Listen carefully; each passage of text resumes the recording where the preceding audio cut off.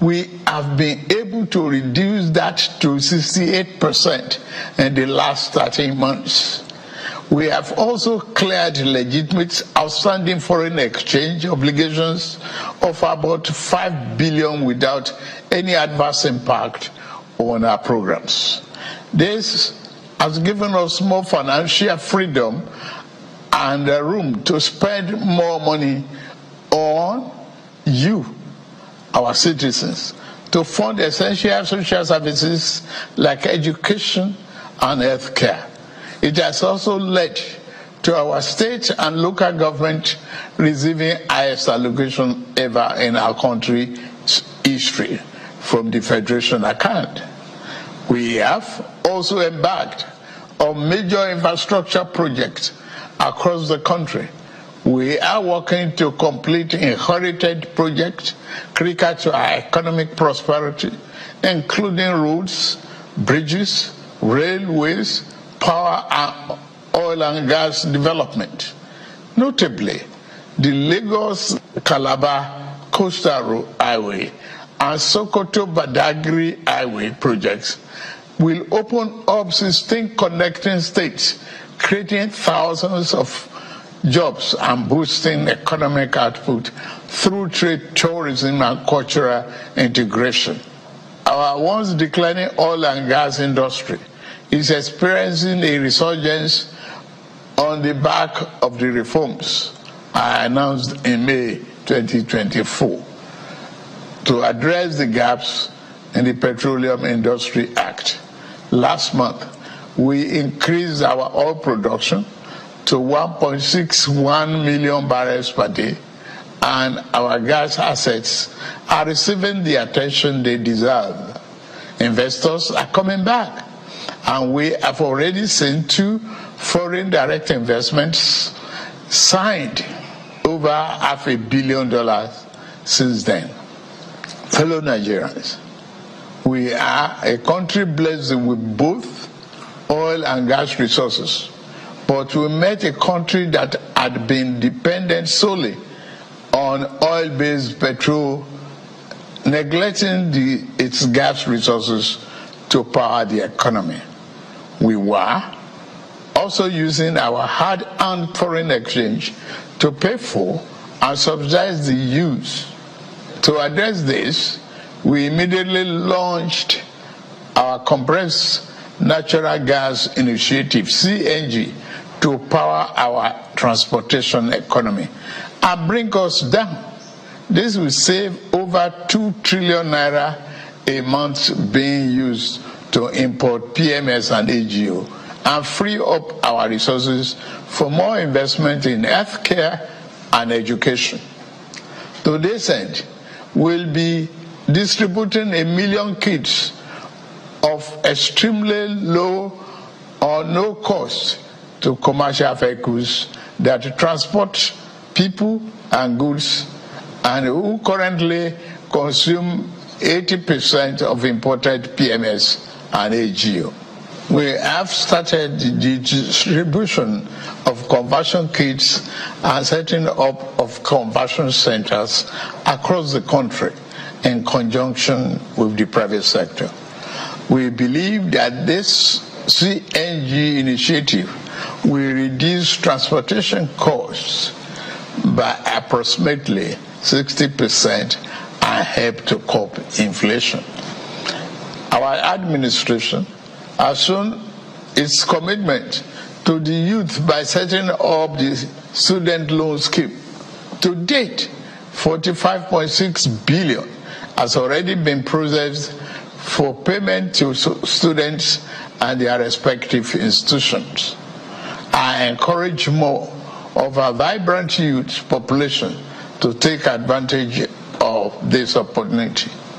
We established the Consumer Credit Corporation with over 200 billion to help Nigeria to acquire essential products without the need for immediate cash payment, making life easier for millions of households. This will consequently reduce corruption and eliminate cash and opaque transactions.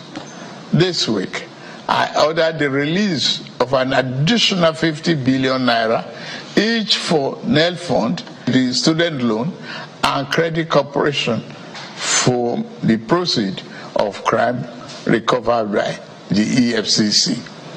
Additionally, we have secured $620 million under the Digital and Creative Enterprises, IDICE, a program to empower our young people, creating millions of IT and technical jobs that will make them globally competitive. This program, including the 3 million technical talent scheme, unfortunately, one of digital centers was vandalized during the protests in Kano. What a shame. In addition, we have introduced the Skill Up Artisans Program, SUPA, the Nigerian Youth Academy, NIA, and the National Youth Talent Export Program, NATEP. Also, more than 517 billion has been released to the 36 states to expand livelihood support to their citizens. Why 600,000 nano businesses have benefited from our nano grants.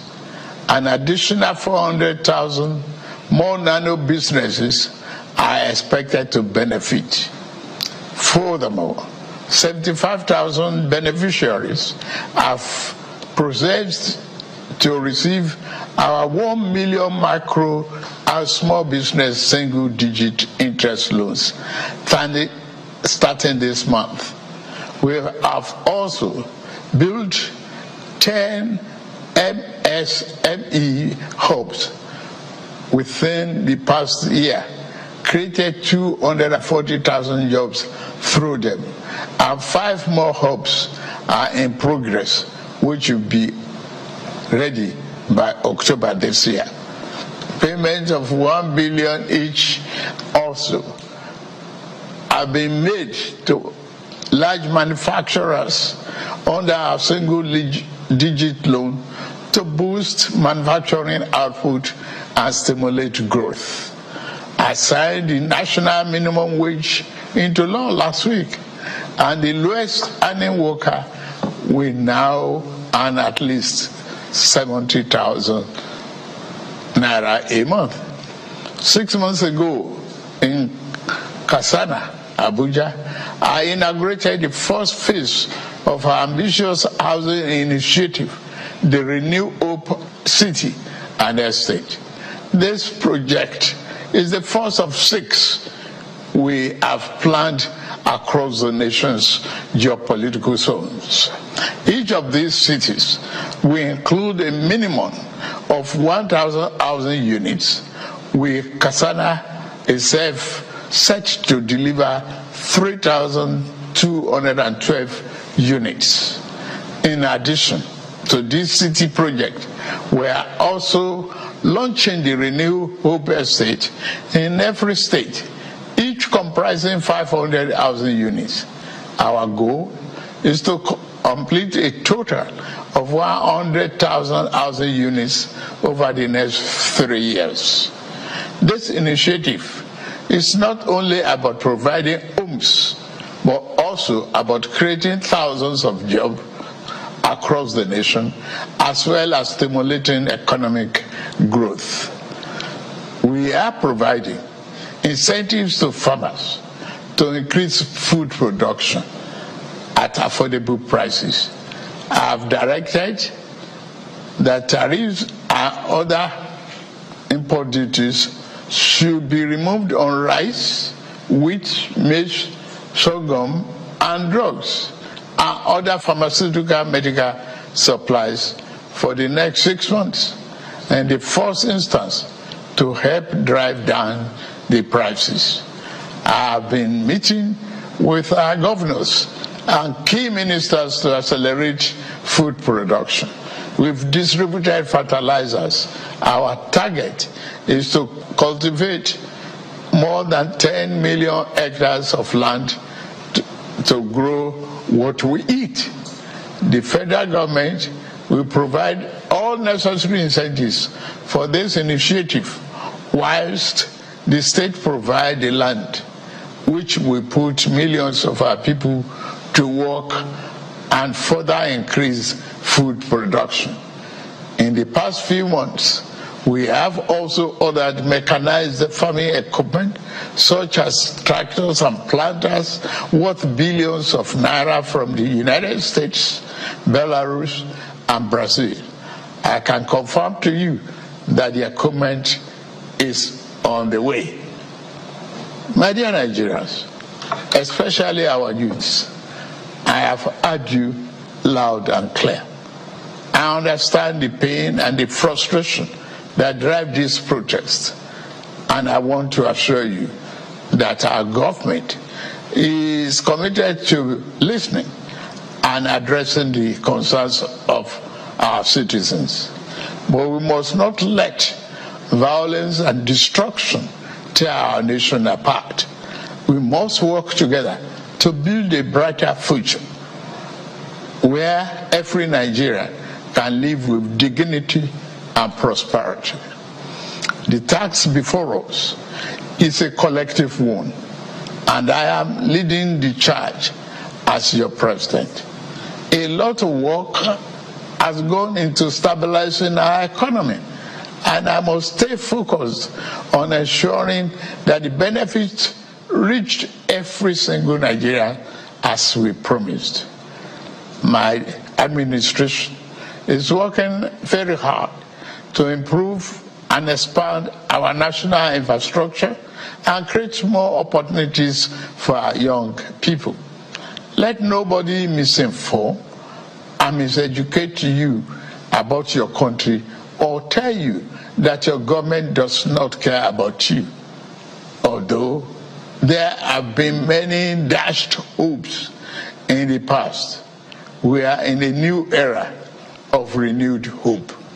We are working hard and the result will soon be visible and concrete for everyone to see, feel, and enjoy. Let us work together to build a brighter future for ourselves and for generations to come. Let's choose hope over fear, unity over division, and progress over stagnation. The economy is recovering. Please don't shut out this oxygen. Now that we have been enjoying democratic governance for 25 years, do not let the extremists of enemies of democracy use you to promote an unconstitutional agenda that will set us back on our democratic journey. Forward ever, backward never. In conclusion, security operatives should continue to maintain peace, law, and order in our country, following the necessary Convention on Human Rights, to which Nigeria is a signatory. The safety and security of all Nigerians are paramount. Thank God and thank you for your attention. And may God continue to bless our great nation. Thank you very much.